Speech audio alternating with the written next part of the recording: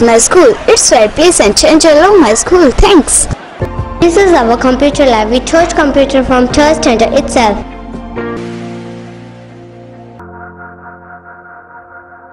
This is a school where my dream come true.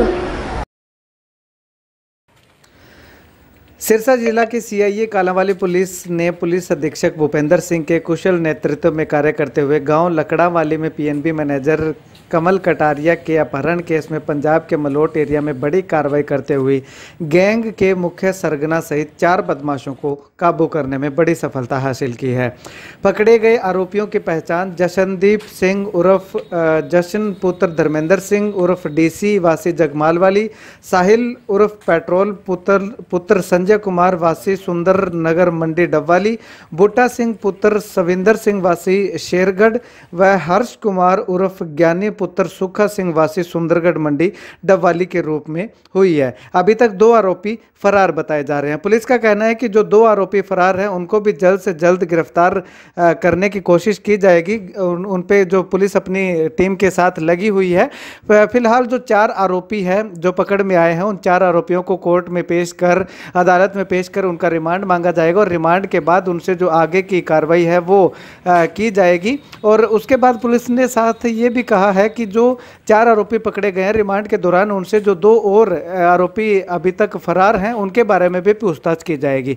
आपको बता दें कि पाँच अप्रैल को कालावाली विधानसभा के गाँव लकड़ावाली के पंजाब नेशनल बैंक के मैनेजर को रास्ते से अगवा कर लिया गया था। वो खबर भी हमने आपको दिखाई थी और अगवा करने के बाद जो है उनको सात लाख रुपए की फिरौती लेकर के उनको वापस छोड़ा गया था। उसके बाद बैंक मैनेजर व उनके सहायक ने पुलिस में कंप्लेंट दर्ज कराई और कंप्लेंट दर्ज करवाने के बाद तीन दिन के अंदर अंदर ही इस बड़ी घटना को जो है वो सुलझा लिया गया है।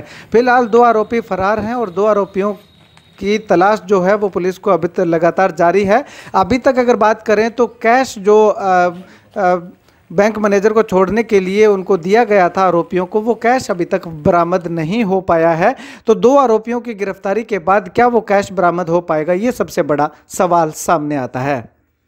ये वारदात हुई थी पाँच अप्रैल को। पीएनबी बैंक के मैनेजर थे उनके साथ ये वारदात हुई थी जिसमें उनको किडनैप करके उनसे चौदह लाख रुपए की फिरौती मांगी गई थी। और जिसमें छः लोग इन्वॉल्व थे तो जैसे ही हमें पता चला तो हमारी टीम्स बेसिकली तीन टीम इसमें काम कर रही थी और काफ़ी अच्छा रोल रहा सारी टीम्स का सी आई ए कालावाली सी आई ए सिरसा और हमारी साइबर सेल ने जिसने इस केस को ट्रेस करा आ, मात्र 24 घंटे के अंदर। एंड उसमें हमने एक जो क्रिमिनल है उसमें पंजाब का मोस्ट वांटेड क्रिमिनल भी है उसको भी पकड़ा है।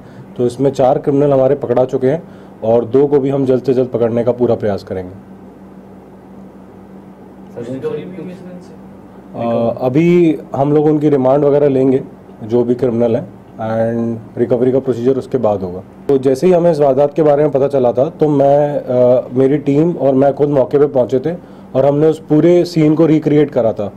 बेसिकली जब बैंक मैनेजर को पकड़ा गया था तो उसको काफ़ी जगह तीन चार घंटे तक वहीं घुमाया गया था सारे एरिया में। तो हमने उस पूरे एरिया को रिक्रिएट करा गया और उससे कुछ हमारे तथ्य हमारे सामने आए। उस सीन को रिक्रिएट करने के बाद और उसमें हमारी फिर इन्वेस्टिगेशन चली आगे।